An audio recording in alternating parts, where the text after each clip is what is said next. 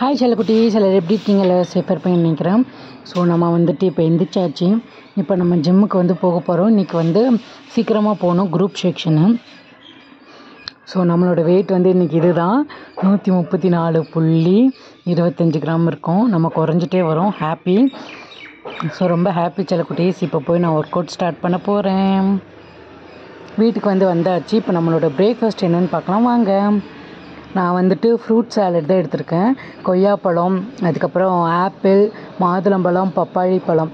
So இது எல்லாத்தையுமே வெட்டி போட்டு ஒரு ஃப்ரூட் சாலட் தான் நான் வந்துட்டு மார்னிங்கில் எடுத்துக்கிறேன்.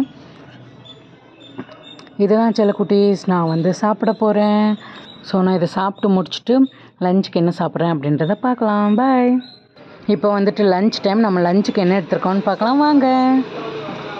இதுதான் வந்துட்டு நம்மளோட லஞ்சு கொஞ்சம் காய்கறி கொஞ்சமாக சாப்பாடு அதுக்கப்புறம் வெள்ளரிக்காய் அப்புறம் ஒரு ஃப்ரூட் எடுத்திருக்கேன்.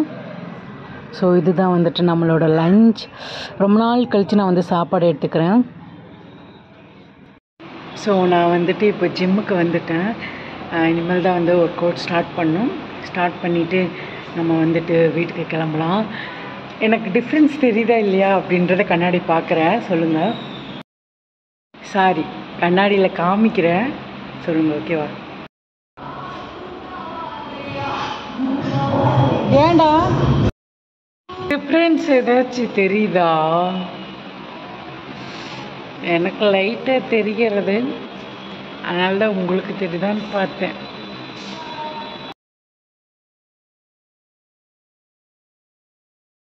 இப்போ வந்துட்டு டின்னர் டைம் நான் டின்னருக்கு என்ன எடுத்துக்கிறேன்னு பார்க்கலாம் வாங்க.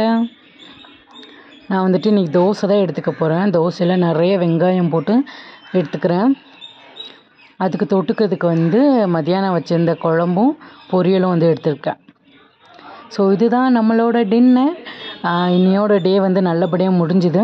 ஹாப்பியாக இருங்க சேஃபாக இருங்க எல்லோரும் ஹாப்பியாக வச்சுக்கோங்க. நீங்களும் ஹாப்பியாக இருங்க. இன்னொரு விஷயம் வந்து நான் உங்ககிட்ட ஷேர் பண்ணுறேன் நீங்கள் டயட் டயட்டில் இருக்கீங்க அப்படின்னா தண்ணி வந்து நிறையா குடிக்கணும். ஸோ அது ரொம்ப ரொம்ப ரொம்ப ரொம்ப இம்பார்ட்டன்ட் நான் அதோட ரிசல்ட்டை வந்து பார்த்துட்ருக்கேன். இருபது கிலோவுக்கு ஒரு லிட்டர் தண்ணி வந்து குடிங்க ஓகேவா ஸோ அது ரொம்ப நல்ல ரிசல்ட் கொடுக்கும். டயட்டில் இருக்கவங்க கண்டிப்பாக வந்து நீங்கள் அதை மெயின்டைன் பண்ணுங்கள் அதுக்கப்புறம் சாப்பிட்டு முடிச்சுட்டு ஒரு பத்து நிமிஷம் அந்த மாதிரி டைமில் ஒரு டம்ளர் வெது வெதுன்னு சுடுதண்ணி வந்து எடுத்துக்கோங்க. நல்ல ரிசல்ட் கிடைக்கும். ட்ரை பண்ணி பாருங்கள்